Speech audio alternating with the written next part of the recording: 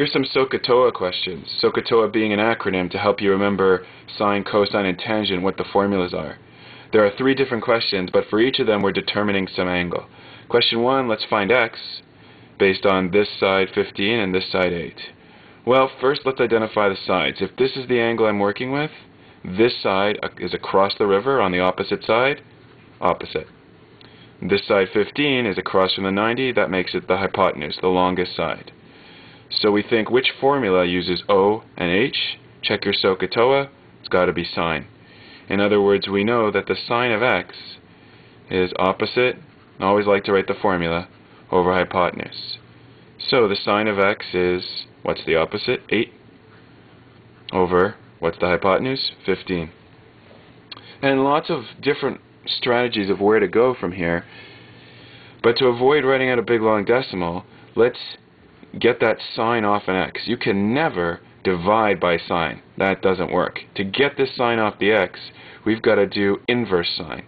That is, it comes off the x and goes onto the other side, but it doesn't divide, it reverses, it inverses. It becomes sine to the power of negative 1, 8 over 15.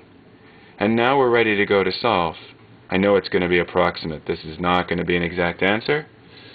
So I'll take my calculator and calculate sine inverse by doing shift sine. I get my inverse of sine. I'll put some brackets. 8 divided by 15.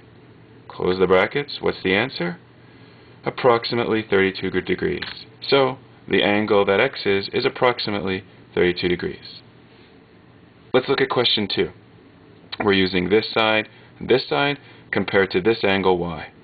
So let's first identify identify the sides. Here's y. We have to go across the river across the street to get to the opposite side, this is the opposite. This side here is touching me. Could be hypotenuse, could be adjacent. How do you know? Well, the hypotenuse is across from the 90, which 41 clearly isn't. So that's the hypotenuse. Oh, what I mean is, that's the adjacent. That can't be the hypotenuse. Look, the hypotenuse I just finished saying is across from the 90. That's up here. Boy, big mistake. So this is the adjacent side. Alright, so now we're going to use our formula. Let's take a look first. Opposite and adjacent. Which formula uses O and A? O and A. Not sine, not cosine. Yeah, it's got to be tangent. So the tangent of this y angle equals opposite over adjacent. In other words, the tan of y equals, what's the opposite? 39. What's the adjacent?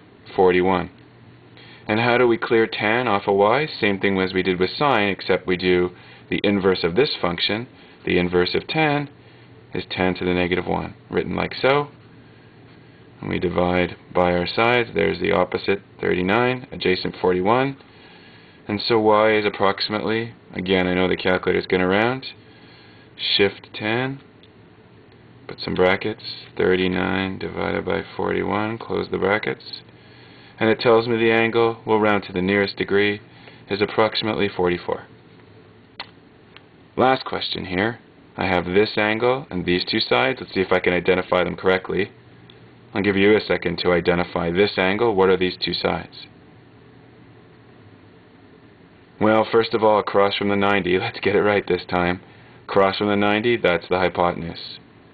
Beside me well, if you're Z, this angle here, beside me could be the hypotenuse. If it's not, beside me means literally means adjacent. Beside is adjacent. And now I know my two sides, adjacent and hypotenuse. So, which formula uses A and H? It has to be this one, cosine. In other words, the cosine of angle Z, or Z, is adjacent over hypotenuse. So the cosine of Z is the adjacent side, 21 over the hypotenuse, 29. To solve for z, we do the inverse of the cosine function. So z is cosine negative 1, 21 over 29. Going to be rounding again. I know it's pretty normal for trigonometry to be rounding. So inverse cos, shift cos, open the brackets, 21 divided by 29. And you get approximately, oh, also 44 degrees. That's just coincidence.